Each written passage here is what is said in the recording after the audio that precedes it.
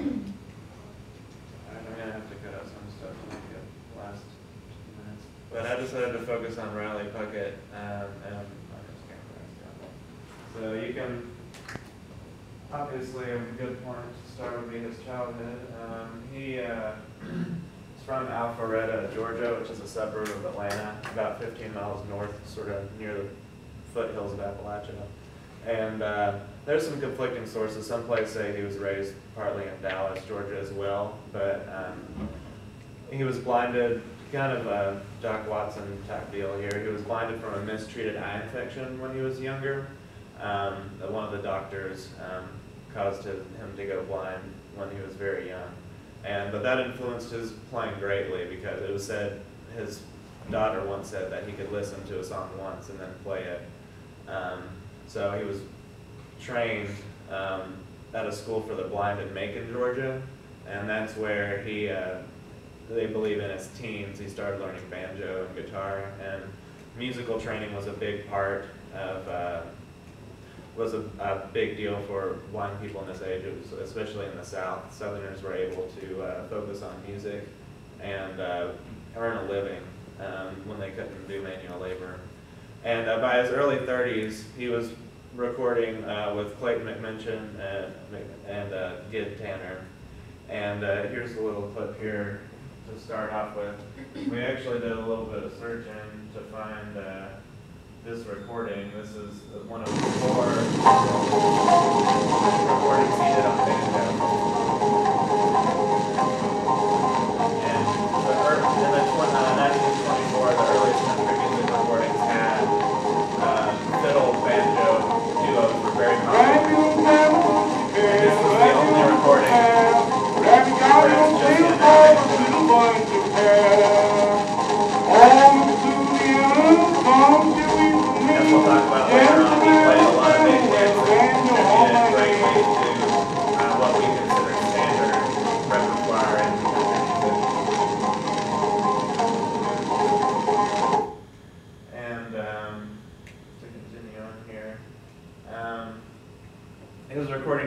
I said, in his early 30s and the early 20s, he started um, recording for uh, WSB in Atlanta, and uh, that's where he joined in with his first group, the Hometown Boys, which uh, I'd be interested to find some recordings of that. But he did that through 22 uh, to 26, and um, in 24 is when he started playing with uh, Gid Tanner in New York. They joined for that session.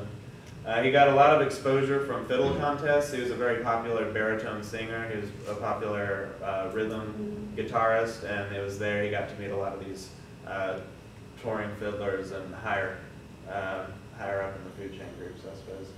Um, he played as their primary guitarist. Um, there were a few times when um, there was a different one, but he most recordings were him with the Skillet Lickers, um, which we'll hear about later. And uh, Fate Norris played uh, banjo in that group. Um, Clayton McMinchin and Gid Tanner also played fiddle. So very high, um, up there, well-known sort of fiddlers. And um, he was actually the first country artist to ever yodel on a record, which I'll give an example of. So he, he was really the first most popular singer. Like I said, he recorded in 1924 he was really the first big superstar country singer, and uh, he recorded this, I believe, three years before. Jimmie Rodgers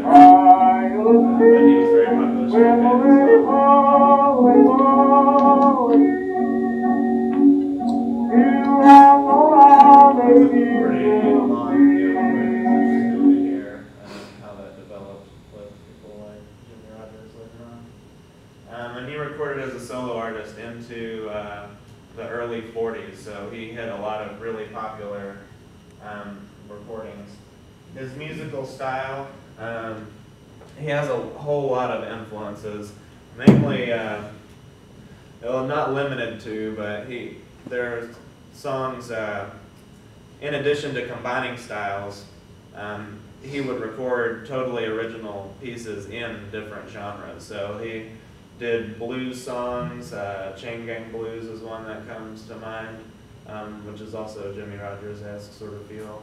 Um, he did gospel. He recorded a lot of really popular religious tunes from that era. Um, he did ballads. There are a number of uh, old Irish and English uh, songs that are hundreds of years old that he recorded. Um, prairie and cowboy music, um, like we heard a minute ago, the blue yodels and uh, um, sort of western style um, songs. He recorded those as well. Um, pretty much anything that people wanted to listen to, Riley could figure it out. Um, and also Tin Pan Alley standards. We've, as we've been discovering recently, that Tin Pan Alley had a, a lot of crossover into country music recording artists.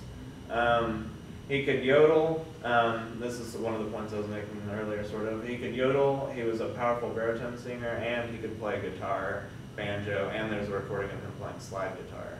So he's just, uh, there are really good players playing all those different things in this era, but I don't know of anybody from the early 20s that uh, did all of those things at once as a solo artist and in a string band. Um, and uh, he played very intricate bass runs is what he's most popular for. He's one of my favorite old-time guitarists because of this. Um, as we were talking about the other day, some people claim uh, he wasn't sure when the chord changes were, but it, regardless, it brings a lot of drive to the music. It, sometimes he would abandon the chords altogether to play an extended bass run, maybe a measure after um, the fiddle might end the A part, so it adds a lot of different textures to the band. And uh, Bill Monroe cited him as an influential singer um, for his style, so he really, uh, whole, all the way across the board, early bluegrass, was, he was a huge influence as a singer on these people, and uh, that's what he's most remembered for. And the Skilletlickers were remembered for their rough, hard driving sound. Um, that's something that we read about in chapter two. Um, that he was very popular um, uh, sort of driver, a lot of fast fiddle tunes, like Gid Tanner dance tunes, um, very popular style. Um, the recordings, uh, oftentimes they feature, lots of them are humorous skits, what they what you would call rural dramas, and uh, it was here that uh, you sort of get some of his sense of humor and some of the uh, um, I don't know if legends is the right word, but you get the sort of view of what the group was like. They portrayed themselves as a bunch of young, rowdy drinkers, you know, and maybe like to play music on the side. But um, these dramas included a lot of, you know, it would paint a picture of what the South was like, and it was very popular um, on record at the time. and uh, we're going to play one more thing for you here. Here's uh, him playing with the Skilletlickers, doing a, um, a,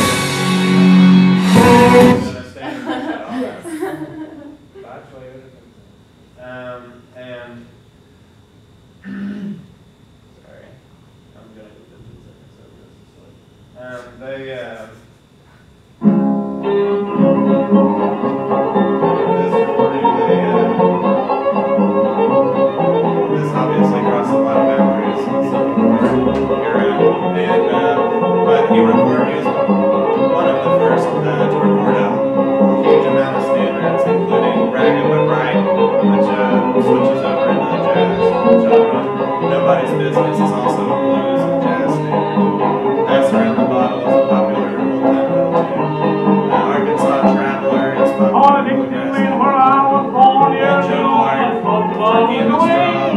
away, away, away. Dixieland, Dixie land, the land of the old time there in the.